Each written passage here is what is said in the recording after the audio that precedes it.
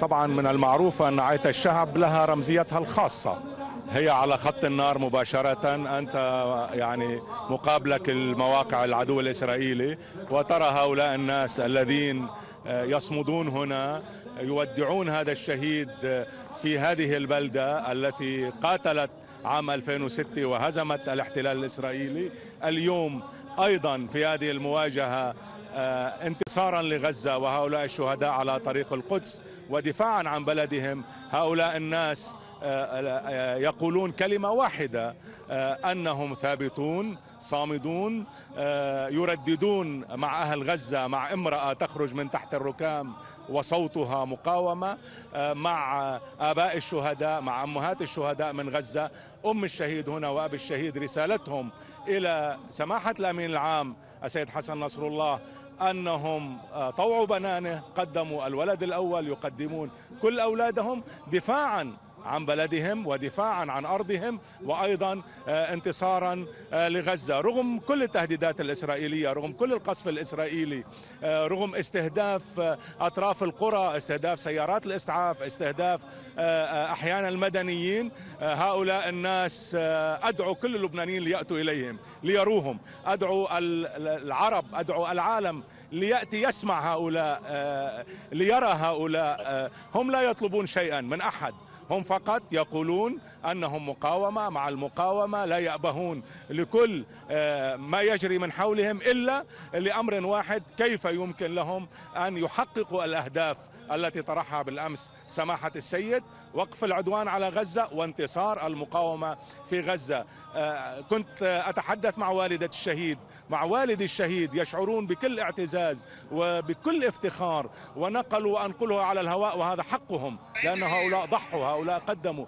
نقلوا إلى سماحة السيد أن بقية أولادهم أن بقية هذه العائلة كلها مستعدة أن تقدم دمها وأن تبذل دمها. وهذا كلام أم شهيد على جثمان ولدها أنهم مستعدون أن يقدموا دماءهم من أجل أن يحافظوا على بلدهم أن يحافظوا على أرضهم وأن يدفعوا هذا العدوان وأن ينتصروا للدم المظلوم في غزة. سعادة النائب لو تعليق سريع. يعني هناك أصوات أيضا إسرائيلية تتحدث يعني وزراء يطالبون بضرب غزة بضربة نووية. ما تعليقهم خاصة لجهة أن الأمين العام السيد حسن نصر الله كان قد قال بأن تصاعد الجبهة في الجنوب اللبناني هو مرتبط بمسار الأحداث في غزة.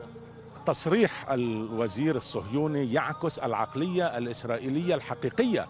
هم مجرمون هذه عصابة تديرها الولايات المتحدة الأمريكية. هو يقول ما يفكرون فيه في مجالسهم الحربية في جيشهم. هم كما كان رابين يتمنى يقول يعني يتمنى أن يستفيق ويرى غزة قد غرقت في البحر. هم لا يأبهون للإنسان للبشر مستعدون أن يرتكبوا كل الحماقات. أصلا ماذا يفعلون الآن في غزة؟ هذه الأطنان من القذائف التي أطلقت على غزة ربما تعادل قنبلة نووية هم قتلة ومجرمون. لكن ما يمنعهم اليوم من التمادي أكثر وهم تمادوا أن هناك أيضا مقاومة في غزة. عندما نرى المشاهد التي بثتها كتائب القسام من غزة كيف جنود العدو مذعورين كيف يصلون إلى دباباتهم من نقطة صفر كيف يلاحقونهم كيف يدمرونهم نرى الفرق بين أصحاب الأرض بين أهل الأرض بين أهل غزة وبين المحتلين. وهذا ما كنا نشهده ونشهده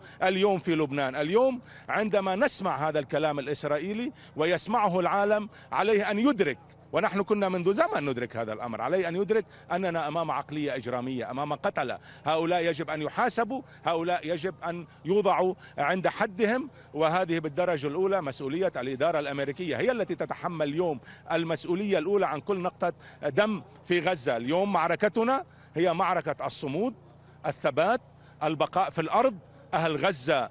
مفخرة اليوم العالم مفخرة الإنسانية وعلى جميع الشعوب أن تتعلم من هؤلاء. كما تعلمنا نحن هنا من أهلنا ومن شعبنا الصمود والثبات وهذا مشهد اليوم في عيت الشعب من مشاهد الصمود والثبات. علينا جميعا أن نتعلم من هذا الشعب الذي يهدد اليوم بالقنبلة النووية ومع ذلك هو يرفض أن يهجر يموت في أرضه ولا يخرج من أرضه. أما التهديدات الإسرائيلية فتعودنا عليها.